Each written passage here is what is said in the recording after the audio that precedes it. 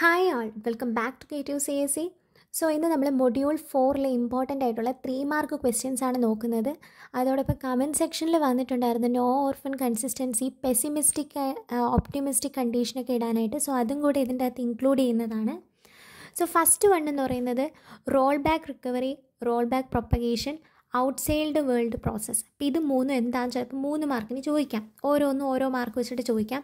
അപ്പോൾ roll back recovery എന്ന് പറഞ്ഞാൽ mechanism that allows a distributed system to return a consistent state after a failure അതായത് ഒരു distributed സിസ്റ്റത്തിന് മൊത്തത്തിലൊരു ഫെയിലിയർ ഉണ്ടായി.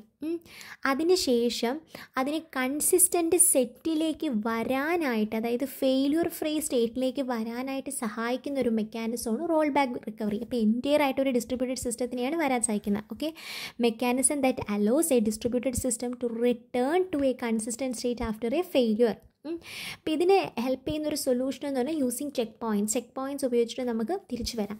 ഇനി റോൾ ബാക്ക് പ്രൊപ്പഗേഷൻ പ്രൊപ്പഗേറ്റ് ചെയ്യുക. ഒരെണ്ണം കൊണ്ട് മറ്റേതിന് എന്തോ പറ്റുന്ന ഒരു സംഭവമാണ്. നോക്കാം.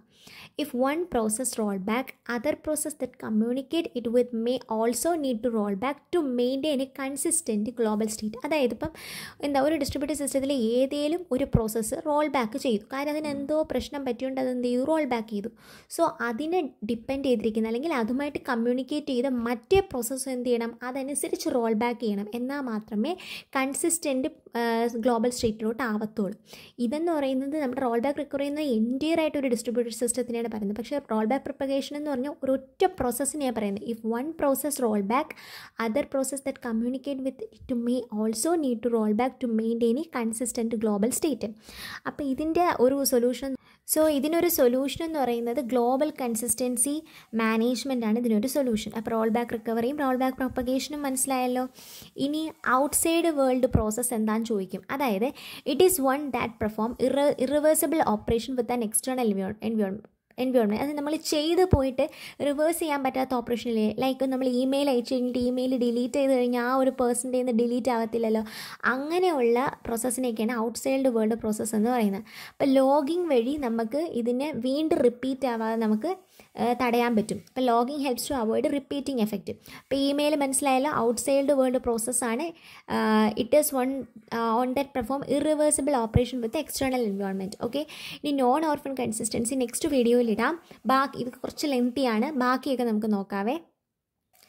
സോ പെസിമിസ്റ്റിക് ലോഗിങ്ങും ഒപ്റ്റിമിസ്റ്റിക് ലോഗിങ്ങും തമ്മിലുള്ള ഡിഫറൻസ് മൂന്ന് മാർക്കിന്റെ ചോദിച്ചാൽ എങ്ങനെ എഴുതണമെന്ന് പറഞ്ഞുതരാം. പെസിമിസ്റ്റിക് ലോഗിങ് എന്ന് പറയുമ്പോൾ may block message delivery under the log is complete logging complete ആവുന്നത് വരെ എന്താണ്? മെസ്സേജ് ഡെലിവറി ബ്ലോക്ക് ചെയ്ത് വെക്കും. ഏതിലെ? പെസിമിസ്റ്റിക് ലോഗിങ്ങിൽ ഇപ്പോൾ പെസിമിസ്റ്റിക് ലോഗിങ് എന്ന് പറഞ്ഞാൽ ഓക്കെ അപ്പോൾ ലോഗിങ് നടക്കുന്നത് വരെ മെസ്സേജ് ഡെലിവറി ബ്ലോക്ക് ചെയ്ത് വെക്കും. ഇവിടെ ഉണ്ടെങ്കിൽ അങ്ങനെയല്ല ബ്ലോക്ക് ചെയ്ത് വെക്കത്തില്ല. നോട്ട് ഇതിന്റെ ജസ്റ്റ് ഓപ്പോസിറ്റ് എഴുതിയാൽ മതി. ഇത് സിമ്പിൾ ആൻഡ് ഫാസ്റ്റ് റിക്കവറി ഇപ്പോൾ ഇത് കഴിഞ്ഞാൽ നമുക്ക് സിമ്പിളും ഫാസ്റ്റ് ആയിട്ട് റിക്കവർ ചെയ്യാം. ഇത് മോർ കോംപ്ലക്സ് ആണ്. ഇവിടെ ഓർഫൺ മെസ്സേജസ് ഒന്നും ഉണ്ടാവത്തില്ല. ഇവിടെ അപ്പോൾ എന്താ? ഓർഫൺ മെസ്സേജസ് ഉണ്ടാവും. ഭയങ്കരമായിട്ട് റൺ ടൈം ഓവർ ഹെഡ് ഉണ്ട്. High run time overhead ഇവിടെ lower run time overhead അപ്പോൾ ഇത് പഠിച്ചു കഴിഞ്ഞാൽ ഇത് എഴുതാൻ പറ്റും. അപ്പോൾ പെസിമിസ്റ്റിക് ലോഗിങ് എന്താണ്?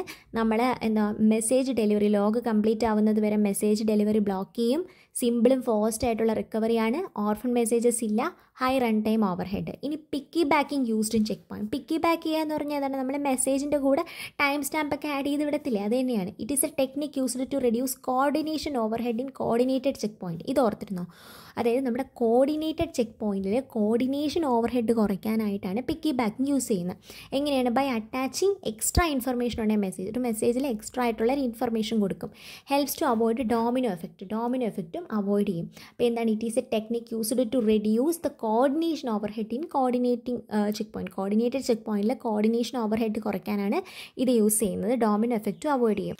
എടാ ഇനി two type of log storage ചോദിക്കാം. വോളറ്റൈൽ ലോഗോ ഉണ്ട് സ്റ്റേബിൾ ലോഗോ ഉണ്ട്. വോളറ്റൈൽ ലോഗോ എന്ന് പറഞ്ഞാൽ എന്തുവാണ്? നമ്മുടെ റാം ആണ്. അത് വോളറ്റൈൽ മെമ്മറിയാണ് സോ അതിന് എന്തെങ്കിലും ക്രാഷ് ഉണ്ടായിക്കഴിഞ്ഞാൽ അതിനകത്തുള്ള ഡേറ്റാസ് ഒക്കെ ലോസ് ആവും. പക്ഷേ സ്റ്റേബിൾ സ്റ്റോറേജ് എന്ന് പറയുന്നത് നേരെ ഓപ്പോസിറ്റ് ആണ്. സ്റ്റേബിൾ ലോഗ് നോൺ വോളറ്റൈൽ ആയിട്ടുള്ള മെമ്മറി നമ്മുടെ S S D hard disk ഒക്കെ പോലെയാണ്. Survey system crash system crash വന്നാലും അതെന്ത് ചെയ്യും? സർവൈവ് ചെയ്യും. ഓക്കെ ഇനി അടുത്തൊക്കെ നമുക്ക് നെക്സ്റ്റ് വീഡിയോയിൽ നോക്കാമേ. വോളറ്റൈൽ ലോഗോ ഉണ്ട് സ്റ്റേബിൾ ലോഗോ ഉണ്ട്.